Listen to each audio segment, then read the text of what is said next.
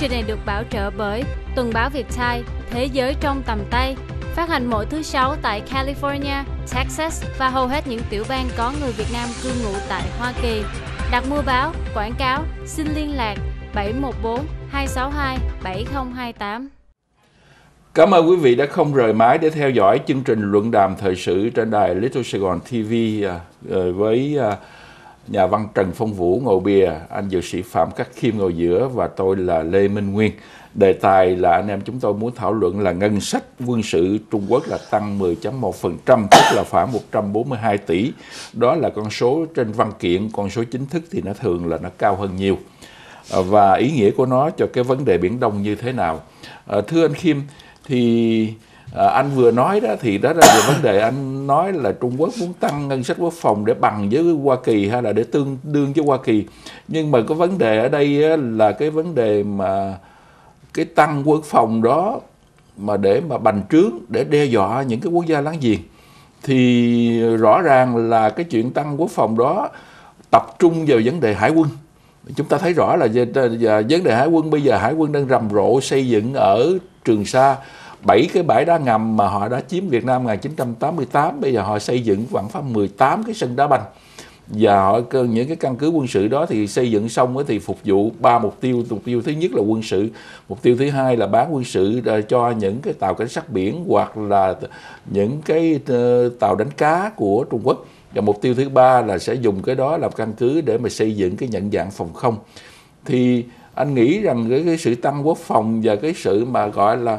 blockade uh, ờ, cái cái mặt tiền cái cái cửa ngõ của Việt Nam. Thì Việt Nam là quốc gia biển mà cái biển Đông là cái đường đi ra. Thì anh có nghĩ là quốc gia nó sẽ ờ, Việt Nam sẽ bị trở ngại trong cái vấn đề này không? Thưa anh, bây giờ mình nhìn vào Trung Cộng đó thì hiện nay bây giờ Trung Cộng cũng bị cũng bị uh,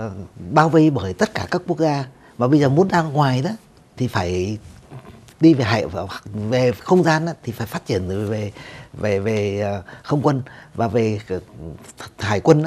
thì phải phát triển về hải quân để có thể đi ra ngoài. Bởi vì bây giờ nhìn ở biên đông thì trung cộng bị ngay bên cạnh ấy là là là là là, là, là nhật bản. Nhìn xuống đây đó thì bây giờ việt nam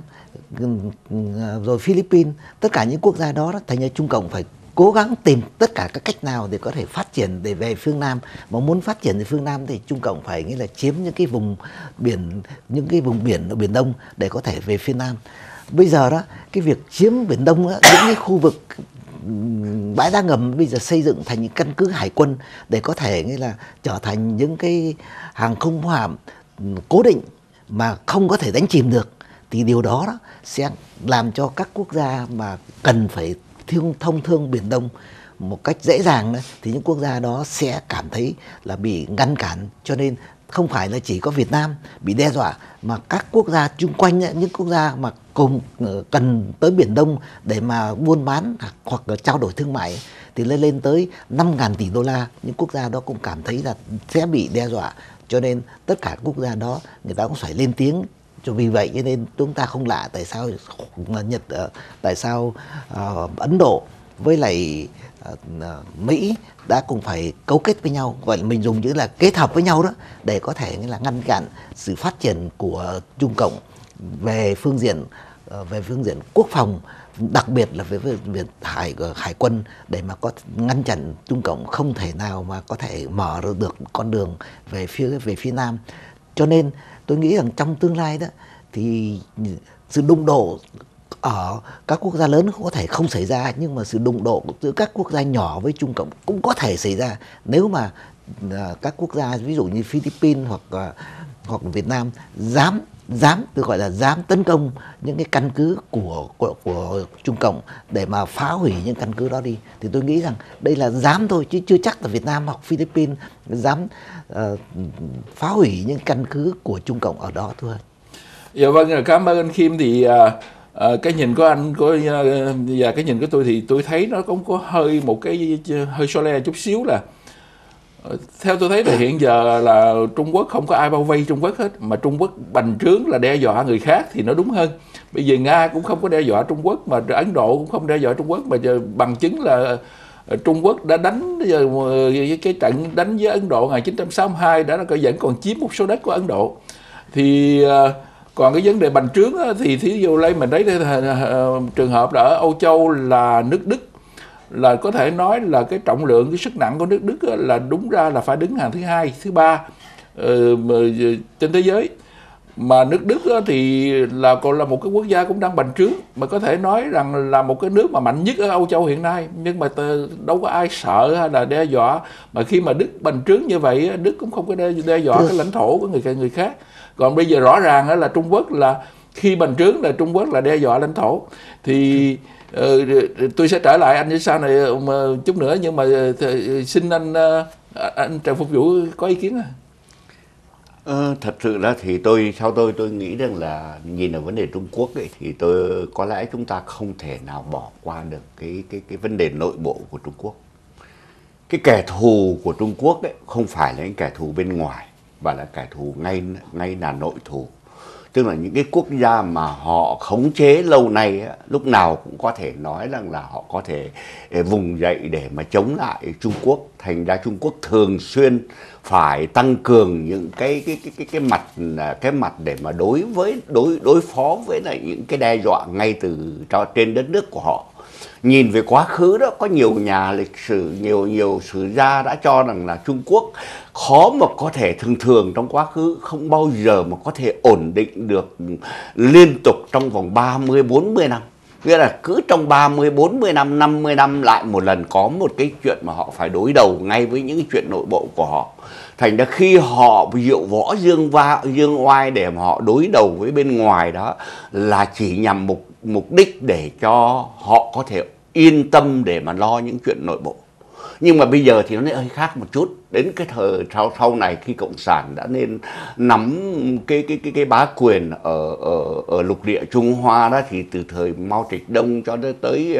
uh, tập cho tới uh, cho tới Đặng Tiểu Bình và bây giờ là Tập Cận Bình thì chúng ta thấy rằng là họ uh, vùng lên để họ muốn giành lấy cái thế thượng phong trở thành một cái cường quốc thế giới. Mà có thể nói rằng là họ có cái tham vọng là lấn lướt của Hoa Kỳ để trở thành một cái cường quốc số một trên thế giới thế thì cái mà mà mà mà mà, mà Trung Quốc đang phải đối đầu là cái vấn đề xoay trục của của của, của Hoa Kỳ. Mà cái xoay trục của Hoa Kỳ nếu chỉ có Hoa Kỳ không á thì có lẽ ê,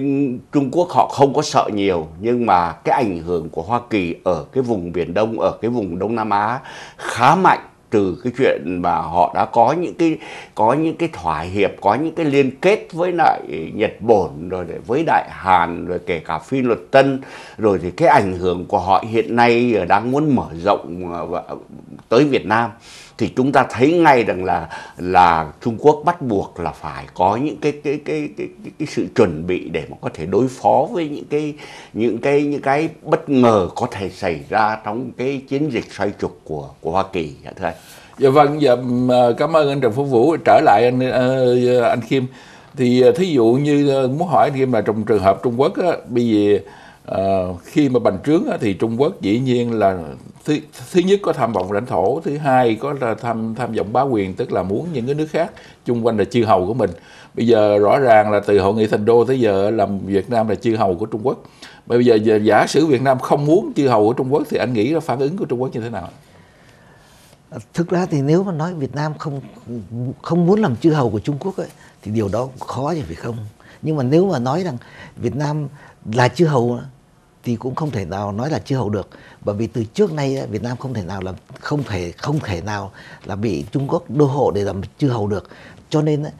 cái ảnh hưởng của Trung Cộng đối với Việt Nam ấy, trong tương lai nếu giả dụ nếu giả dụ nhá người lãnh, lãnh đạo của Việt Nam ấy, mà khôn ngoan đi chăng nữa thì vẫn có thể phải bị ảnh hưởng bởi cái, cái, cái bởi Trung Cộng. Bởi vì Việt Nam giống như là một cái khu đất đệm khu đất đệm. Cho nên uh, cái việc mà Việt Nam tách khỏi coi như là thoát chung đó thì tôi nghĩ là không thể thoát chung được. Nhưng mà ảnh hưởng của Trung Cộng thì vẫn có thể bị ảnh hưởng. Đó là cái điều mà chúng ta phải nhìn thấy rõ ràng điều đó. Cái điểm thứ hai nữa đó, bây giờ bây giờ trở lại vấn đề mà anh nói là, là Trung Cộng không cảm thấy bị bao vây thì thực sự đó nếu mà anh là người lãnh đạo của Trung Cộng này, thì anh sẽ thấy rõ ràng là Trung Trung Cộng bây giờ đang bị bao vây. Bởi vì ở bên ở bên đỉnh đầu của mình ấy, thì Liên Xô nằm ở đó. Bên bên về phía tây đó thì ờ, cả một cái khu vực là mà Trung Cộng không thể nào đi qua được. Bây giờ về phía đông nữa thì Nhật Bản nằm ở đó. Rồi phía phía nam ấy, thì các quốc gia Đông Nam Á trở thành cái khối gọi là cái khối các quốc gia Đông Nam Á thì nếu nhìn nhìn theo khía cạnh của Trung Cộng mà muốn bành trướng đó, thì rõ ràng là Trung Cộng cảm thấy bị bao vây cho nên trong suốt thời gian vừa qua đó là Hoa Kỳ muốn làm thế nào để cho uh, Trung Cộng biến thành một quốc gia dân chủ tự do hoàn toàn đó, thì lúc đó là trong cái cuộc chơi dân chủ thì uh, rõ ràng là người ta sẽ không sợ các quốc gia dân chủ đối tượng cư xử với nhau bằng võ lực nữa thưa anh.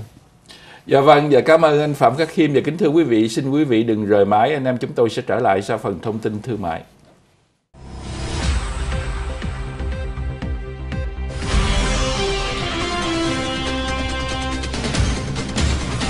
Chương trình này được bảo trợ bởi Tuần báo Việt Thai, Thế giới trong tầm tay, phát hành mỗi thứ sáu tại California, Texas và hầu hết những tiểu bang có người Việt Nam cư ngụ tại Hoa Kỳ.